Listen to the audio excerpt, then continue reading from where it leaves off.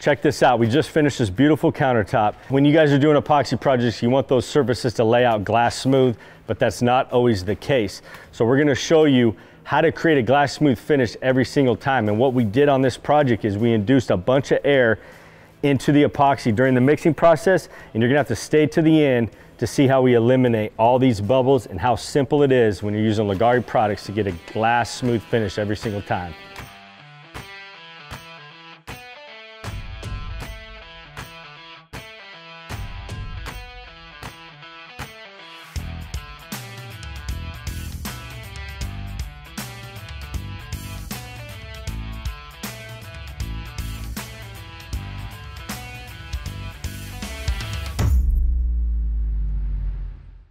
What's up YouTube? Tyler with Leggari Products. Today, I'm gonna induce so much air into this epoxy and I'm still gonna get it to lay out glass smooth and we're gonna show you that trick at the end of this video. So stay tuned. 3P2, 3P2. It's mixing time guys and I realize uh, this can be intimidating to some of you, but I'm gonna show you the easiest process um, to make this simple for you. It's called 3P2. We came up with this process. It doesn't matter how long you mix it, how fast you mix it, as long as you do this process. So we're basically gonna mix all the resin into one bucket, and then we're gonna dump that into another bucket and mix it again a little bit. And, and, and I'll go over the process as we're going, but we call 3P2. So we go up and down three times in one bucket. The P stands for pour into the secondary mixing container, and then we go up and down two more times, and that's basically how you mix this. Now you'll never have a soft spot, never have an issue with your resin setting up as long as you follow um, this procedure. So we're gonna jump right into it. What I'm gonna be using for this three gallon kit of epoxy, two five gallon buckets. We have three, actually we only need two of these, but it is always good to have extra supplies. You can always take them back. We need two five and a half or five quart containers, and then we're gonna need six two and a half quart containers. That's gonna be for our dirty pour batches, five gallon stir stick, a couple one gallon ones. You're gonna want gloves, and then a drill, a mixing paddle, and then uh, just a simple drinking cup. We use these to get the spray paint colors out. That way we can add other colors into the resin. And then the product, we got our three gallon kit of metallic epoxy, and then we got two of our epoxy pigments. And then if you guys are wanting to speed up the uh, cure time of your epoxy, you can add our epoxy accelerator right to the mix. Now I will say this is for experienced installers. It does cut down your working time. It cuts down the pot life, how long they'll sit in a bucket. So make sure you know what you're doing before you add this stuff.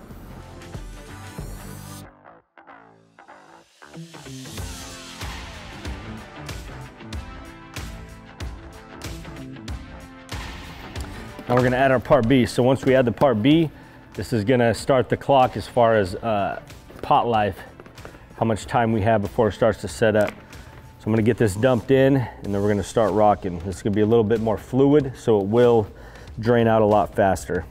So a lot of companies uh, have different ways of mixing.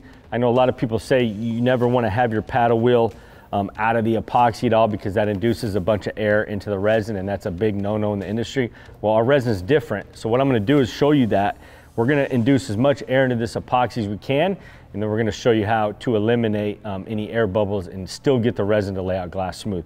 So again, very, very easy to mix our products. You don't have to be uh, careful like a lot of other products. We can do pretty much mix it however we want as far as inducing air into it. Um, obviously you wanna follow our 3P2 method, but again, I'm just gonna kinda mix this wild and crazy, get a bunch of air induced into it, and then I'm gonna go through the 3P2 mixing process and then we're gonna just do it like we typically would and you guys are gonna see how glass smooth this still lays out.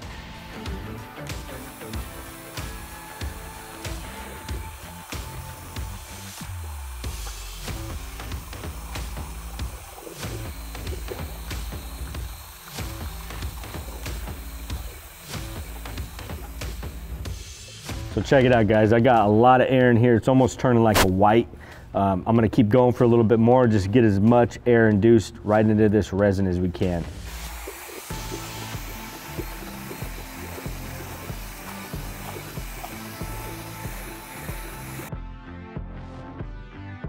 All right, so we're gonna show you what you can expect with the premium product here. So now I'm gonna go through our 3P2 mixing process just to ensure that I mix it correctly, but I, I would assume we got a lot of air into this uh, bucket here.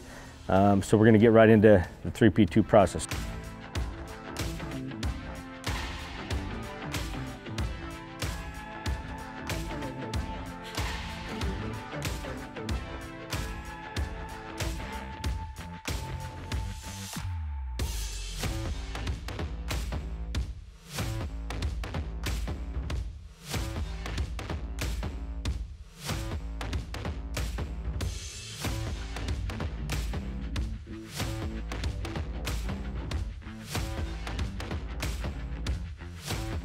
Right, so now we know we have a perfectly mixed, mixed batch of resin. Uh, following that 3P2 process is gonna ensure you have no soft spots. Every part of that resin is gonna set up. I can go dump this out, dump the bucket upside down, let every single part of that resin drain out and it's still gonna set up. So now the next step is to separate this into two gallon and a half batches. You can measure it. I like to just dump it out into another five gallon bucket and eyeball the heights, get as close as we can. And then we're gonna add our one and a half gallon epoxy pigments. And if you wanna be real clean, you can wipe these with gloves, but I'm gonna wind up making a mess anyway. So now I got equal parts and I'm pretty sure you could weigh these and they'd be exact. That's how confident in this I am. So now we're gonna add our burnt caramel and soft tan. Burnt caramel and soft tan. Um, if you guys get these pigments during winter, sometimes they will thicken up on you. So just check them. You can put them in some warm water. They'll soften right up. So we're gonna dump these. Again, this is for a gallon and a half, which we have here. We have a three gallon kit split into two. Get all this stuff out.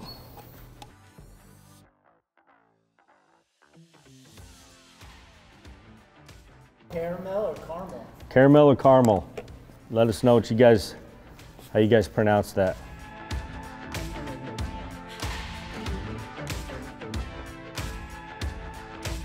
A little tip for you on mixing colors, if you start with the lightest color first and then work your way to the darkest colors, we can use the same paddle. We don't have to change the paddle wheel.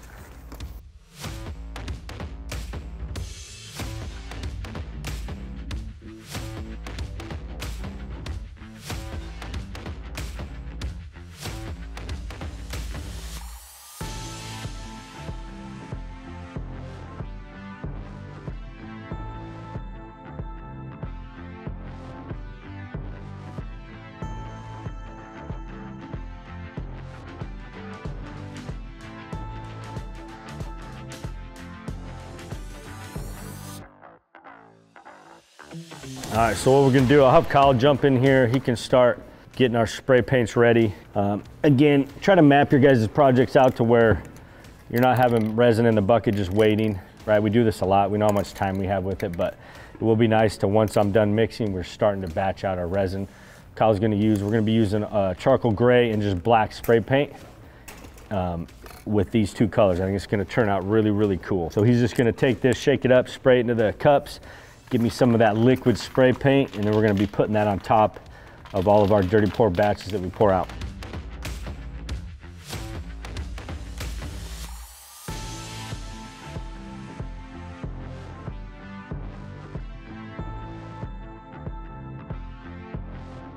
Maybe you love these colors, but maybe you wanted to add, say, white spray paint. All you have to do is go buy some white spray paint and you can add it to this. So you don't have to use these exact colors.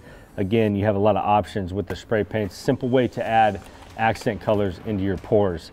So next step, got everything mixed. He's got our stuff ready, um, our spray paint ready. Now we're gonna batch up our pours. So I'll give you, I'll kind of explain how this works. If you guys are looking for more dominant spray paint colors, you wanna pour that into the top of your containers right before you dump it out on the counter. If you wanna say maybe blend a little bit into the soft tan, you would dump it in the bucket first or halfway and then add more soft tan. So we'll kind of do it both ways just so we can get some colors um, throughout these counters. So I'm gonna add, we'll just do two with a little black. And then we'll do two with a little bit of this charcoal in the bottom first. And then the rest we're gonna be adding these to the top.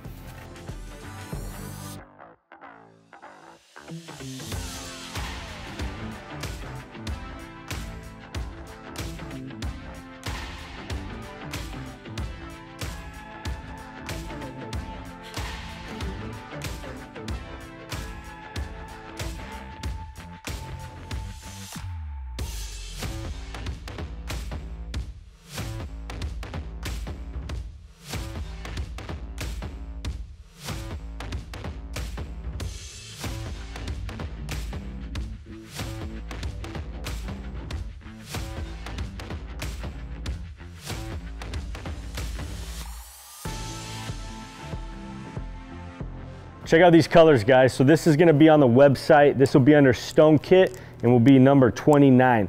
And these are the colors that we're gonna be putting down. We will be adding a lot more black to the tops um, and probably some more of the charcoal color to the tops as we're pouring out. Cool thing about these kits is you can add more color or you can add less. That's totally up to you. Another option, guys, is our custom kits. You can make custom kits on our website as well. Um, pick your own colors, mix and match. Um, a lot of option there too. So if you don't find the exact kit you want, try out our custom kit options as well. So before we start dumping the buckets out, um, I'm gonna go over what we did as far as uh, to get to this point. Obviously we primed the counters.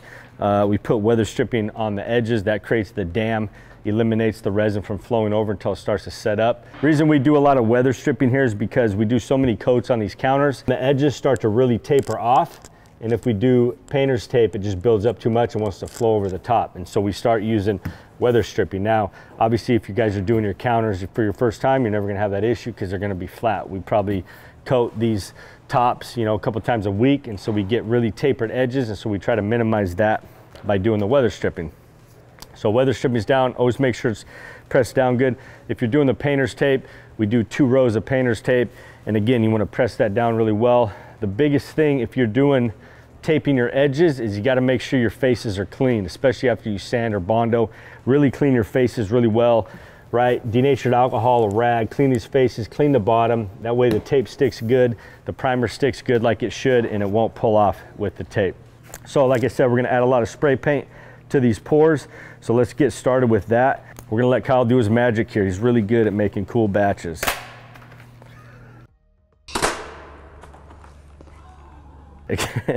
exactly. Check it out. He missed, you literally missed pouring it in there by like an inch. This stuff happens. Been hitting the gym too much, guys. I I'm sorry. Okay, here, dump some black in. Okay, he's fired. Get out. Get out of here. And this is why we plastic off the whole section you're coating. You never know what's gonna happen. Okay, so we're gonna start with this guy since he poured some spray paint in it. While he's cleaning that up, he's got a lot of spray paint in there, so I'm gonna swish that around a little bit. So what'll happen is if you dump a bunch of spray paint in the top, when you go to pour that out, you're just gonna have pure spray paint, which can look cool, but if you don't want that much color, you need to kind of blend that in just a little bit, give it a little bit of a shake, and you won't get as much of that coming out. So we're gonna move quick here since we got quite a bit on it. Then we're gonna jump around because we're gonna want this color all throughout the tops.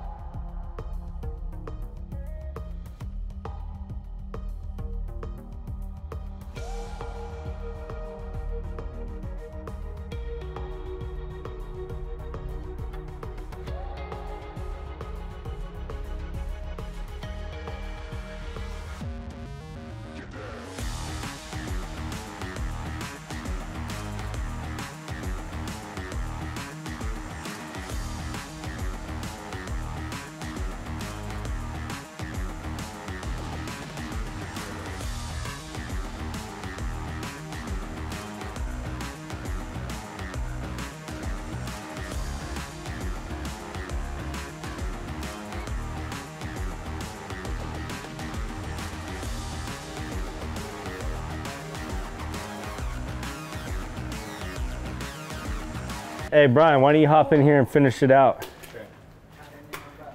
Grab some gloves. Alright, guys. For real, finish her out, dude. Joking. I'm not joking. Hop in here, finish her out. Brian, local contractor oh, here. In a, oh, here, close up. Hey, come here. Hey, come here. Get a close up on the shirt. Innovate Coatings. He does travel. He's gone all the way to South Carolina from Washington State. I'm thinking we need, see how much black we got out here? Super cool. We need a little bit throughout here.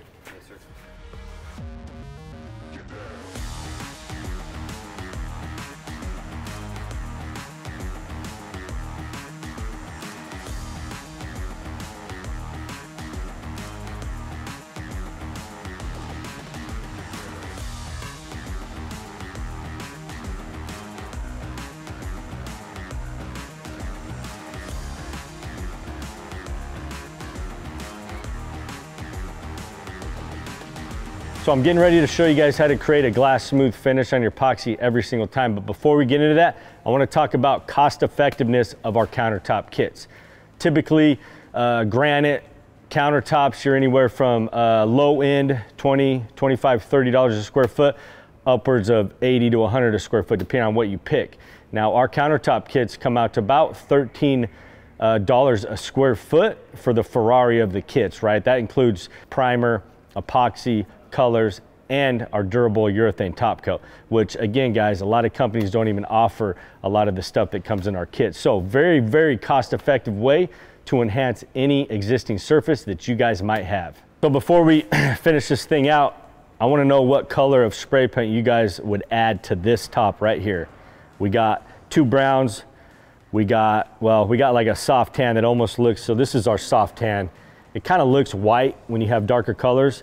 Um, and then we have our burnt caramel or caramel, however you pronounce it.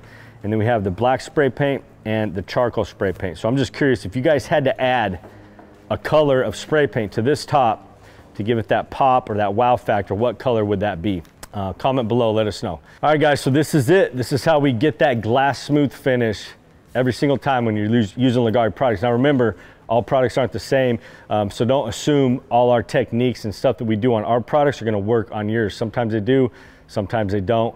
So again, this is mainly for when you use our products. So the big trick, guys, is very simple, denatured alcohol.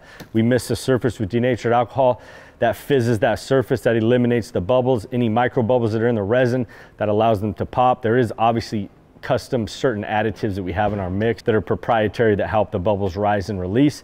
But the big trick, guys, is just simply denatured alcohol. Um, and so what we do is we mist the surface. You wanna stay away from flooding the surface. If we flood the surface too much, a lot of these veins and colors will get kind of muddied out and kind of blend and like move. So we do not wanna um, flood the surface. We wanna mist it. And you can do that a couple times. You just wanna let that evaporate for about five minutes and then go ahead and mist it again. But I'm gonna show you just simply hitting it one time with denatured alcohol. Okay, what I'm gonna demonstrate here, guys, is misting the surface like I was saying, and then on the other side of this board, I'm gonna flood it. And again, you do not wanna flood the surface, that'll muddy out your colors. Best way to show you guys is on a hard epoxy surface already so you can kind of see what that looks like. So misting is gonna happen here, and I'm gonna show you that. Right, that's a fine mist. Just hit the surface real quick. That eliminates those bubbles. And this is what you don't wanna do. You don't wanna just sit there and flood the surface. So you can see how much liquid we have out there. That's gonna sit there and just muddy out those colors and all those fracture veins that you have. And keep in mind, guys, I will reiterate that when we mix, we did this on purpose. We added a lot of air into the mix, so we have a lot of foam and air that you typically wouldn't get. We did that on purpose to kind of show you how user-friendly our products are. So here we go, we're gonna mist this guy right here. See how they're just fizzing and popping? Super, super cool. So now I'm gonna, I'm gonna do that on the whole surface. And again, if we need to hit it again, we just let that evaporate for about five minutes. And notice, misting it doesn't create the cells like the isopropyl does. Biggest thing is do not flood the surface. You're better off hitting it two or three times light than getting too much out there.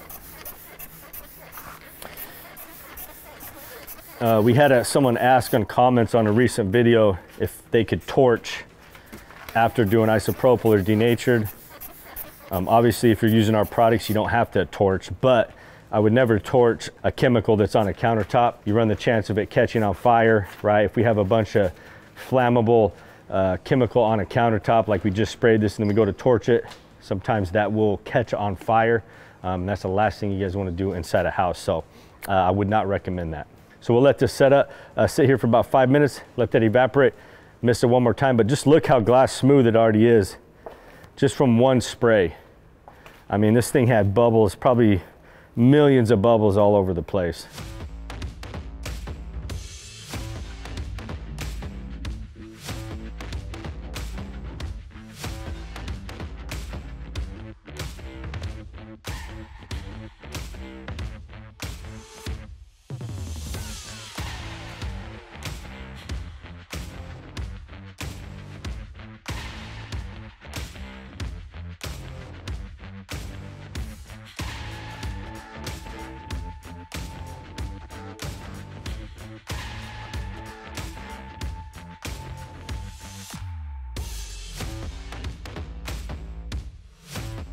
Last thing we got to do is scrape the drips. I'll just show you that. It's still too early right now. We'll have to kind of watch these, but um, it's nice to not have to sand your drips.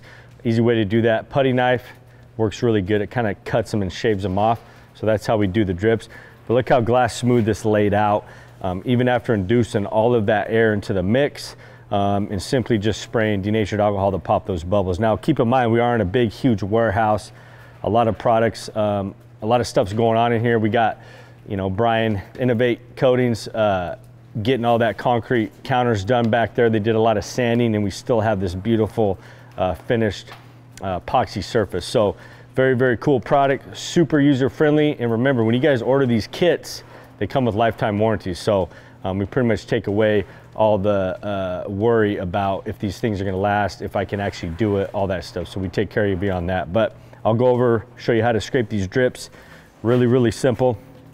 Again, like I said, this is really fluid still, but all you're gonna do is after it starts to set up on you, it's this simple. Run that putty knife on that bottom edge and it takes those off. And so we'll just do that periodically over the next hour, hour and a half until it stops dripping and then we don't have to sand those edges.